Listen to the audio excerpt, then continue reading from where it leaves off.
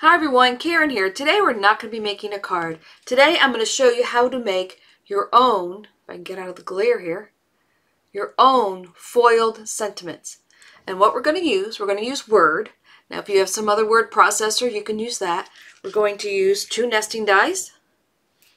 We have some deco foil and the laminator. And you do have to have a laser printer, any printer with toner. Um, if you don't have one with toner, you can use your regular printer at home, take it to like Office Max or something, and ask them to make a photocopy on something that has toner, and you can do the same thing. So you don't need anything expensive to do this. It will work with the laminator.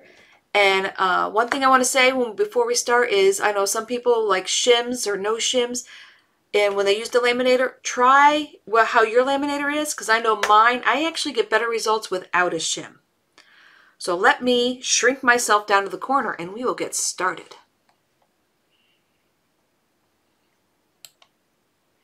I'm going to put myself over here in the corner. So this is what I was playing with before, and this is the happy birthday. All right, so how I did this was, first thing I did was decide what kind of nesting dies I have. Now the two nesting dies I'm using are two and an eighth and two and three eighths. Okay, so I want this to fit inside. So if this one is two and an eighth, I don't want my gold circle to be any more than two inches. So I am going to come up here and I'm going to go to insert. Here, let me see if I can make this a little bit bigger. Here we go. All right. So we're going to come over here to insert. And I'm going to come over here to shape. And I'm going to pick a circle. Now, when you want to do a circle, you want to hit the shift key and then pull down and you will make a perfect circle. So we don't want it to be blue. So I'm going to come over here to format shape and let's see, move this over a little bit so we can see it a little bit better. We want no fill. So we have fill, our fill choices are here. We want no fill. And I'm going to make this line, make sure it's black. And I am going to make it three points. To make it a little bit thicker. So now I have a nice thick black line. Now I want to make sure that it's about two inches across. Now to do that, we're going to go over to view and I'm going to come over here and make sure my ruler is checked. So now I will have the numbers on the top here. All right, so now if I drag this over to the top, I can kind of get an idea of if it's two inches or not. So I want to make sure it's a little bit less than two inches. So I'm going to grab this and just bring it up a tad to where now when I'm looking at it, that still looks a little big to me. All right, so that's now definitely two inches. Now to make sure I didn't squish it and make an oval, I'm going to come over here to this side and make sure it's the same measurement. So if we were up here and I am, let's see, at one and three quarters, I'm going to swing it down here, make sure I'm in the same place. Make sure I have a circle. That's it. It's a little squatty. I'm to try and make it the same size as the one I had. All right.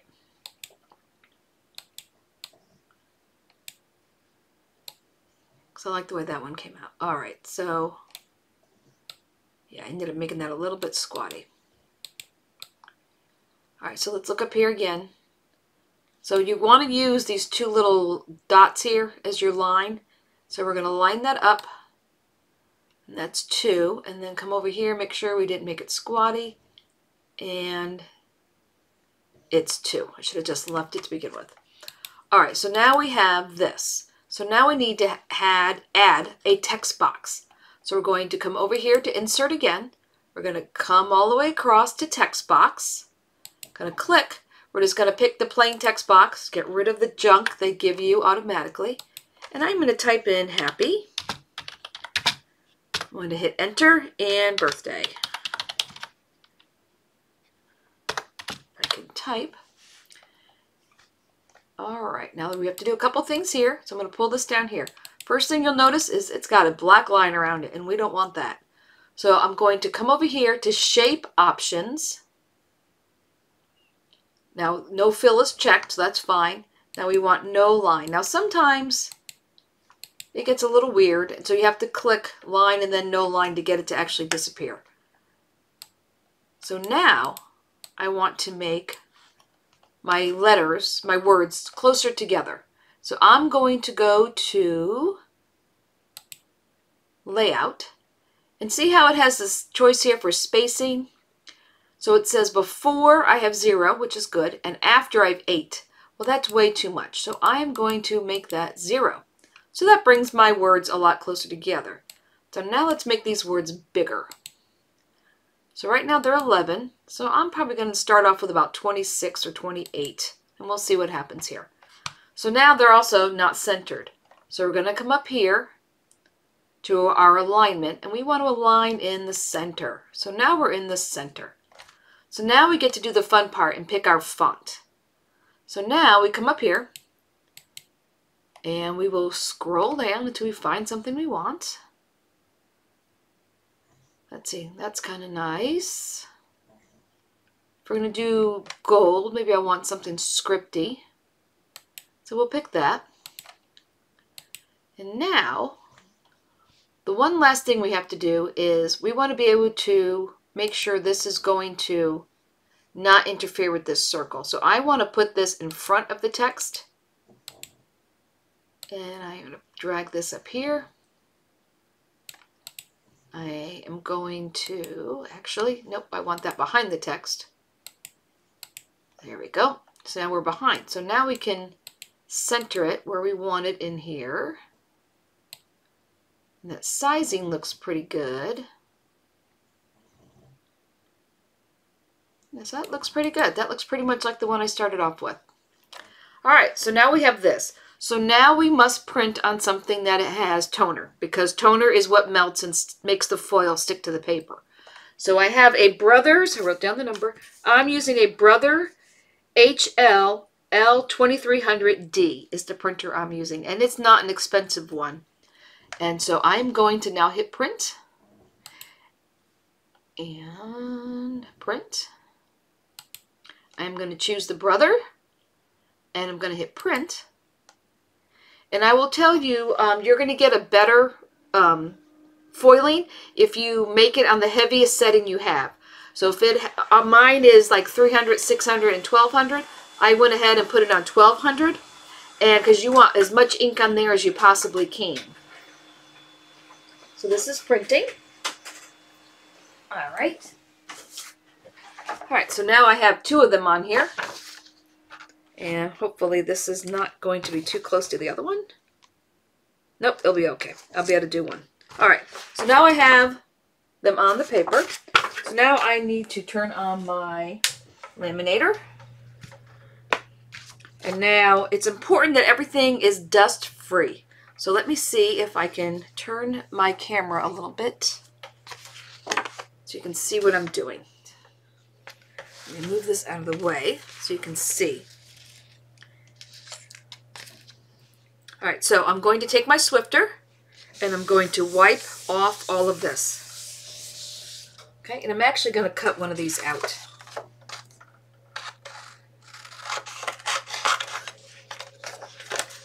Make this easy. We will just cut one out. Put that over there. All right, so now we have our one. And I'm going to wipe it off with the Swiffer, make sure there's no dust or anything on it. I'm now going to take a piece of my foil and I'm going to cut that to cover the happy birthday. So I only need about yay much.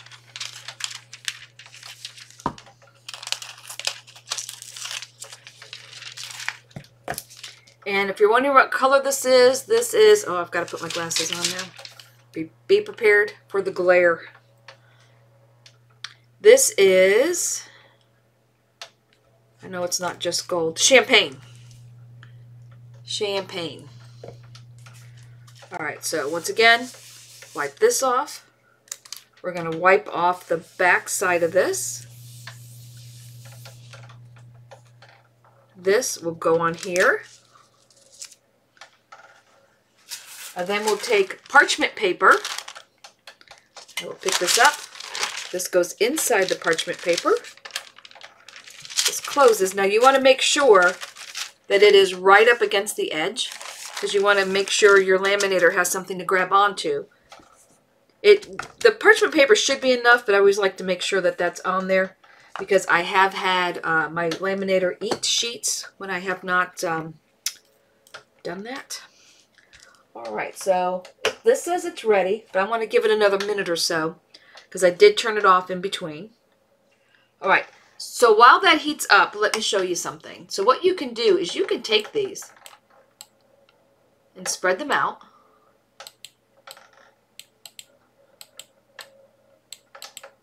Grab a hold of it the correct way.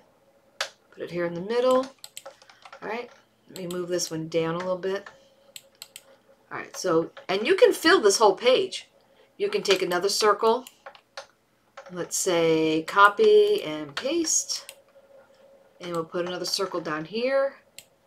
Then we can add another text box.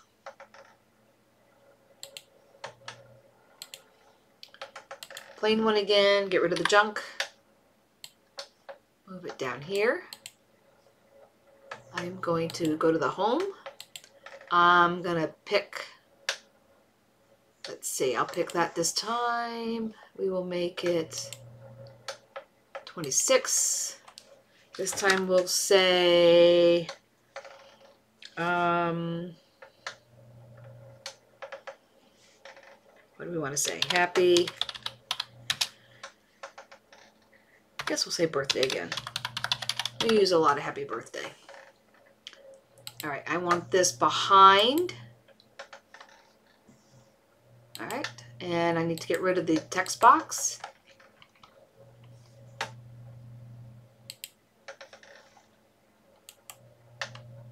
We want to format the shape. We want no line. And we want you behind.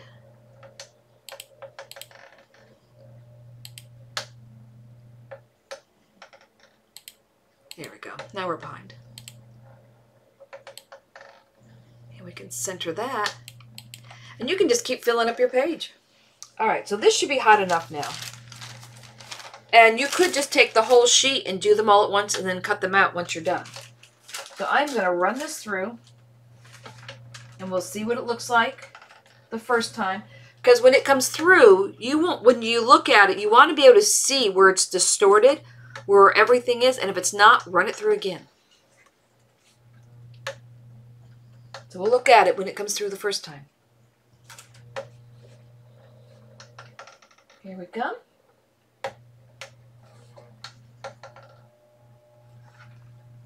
It's a coming. And here we go. Now you also need to make sure this is cool before you pull it off. Now I'm looking at this. Now I can see the letters. Let's see if we can see it in the screen. So you can see the circle. You can see the letter. So that looks pretty good. Yeah, that looks pretty good. But I think I will run it through a second time just to make sure.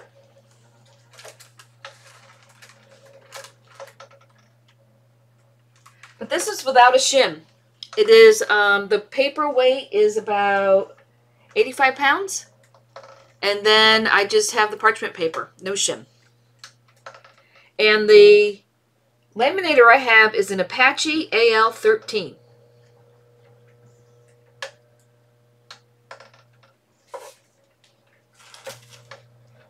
It's a coming. All right, here we are. So now we need to let this cool. Oh yeah, I can see all the letters now. It's nice and distorted. I can see the circle. I think that's going to be good. So the only other thing I'm going to use is some foam. And this foam is uh, 1 8th. Usually I use 1 16th when I'm just doing something that sticks up just a little bit. But I wanted this to be a little bit higher. So this one's going to be um, 1 8th. Okay, this feels cool. Let me just wave it around a little bit, make sure it is nice and cool. And let me peek. Oh, you ready? I think we're good. Let's see what we have. And voila! We have a foil that says happy birthday, the size, the font, the way it's laid out, exactly the way you want. You do not have to buy what other people, you know, want to do. You can you can make your own. If you want to say uh, happy birthday Aunt Martha, you can put on here happy birthday Aunt Martha and foil it and she will be very impressed. So now I'm just going to die cut this like you normally would. So I'm not going to move the camera this time. I think I'm going to have to get another camera. So I'm just going to put it on here like I normally would and die cut this. Now I am going to put a little piece of tape on it, but I'm going to put the tape. Let me line this up here. Let me turn my laminator off. I'm going to put the tape to the outside and not touch the foil, just because it's fresh. So let me grab my folder, and I'm just going to run it through my Gemini MIDI. This is just a quickie little thing here. Oh, let me do both at the same time. So I'm also going to, I have some gold foil. So I have my bigger circle, which is, my bigger circle is 2 and 3 eighths. So we are going to lay this on here. Put them both in the folder. At the same time, run it through the machine.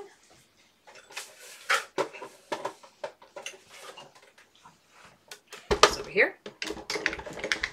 Run it through the machine.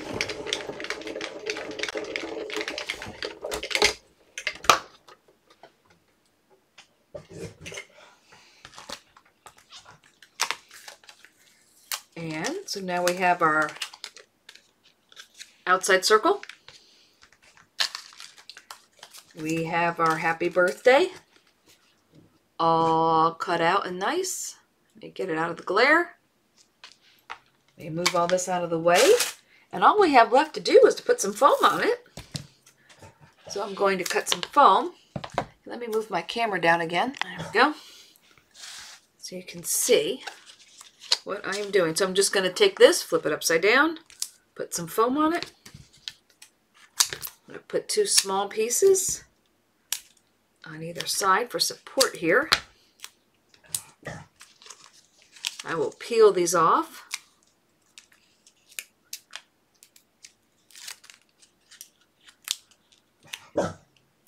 That is, that's Molly.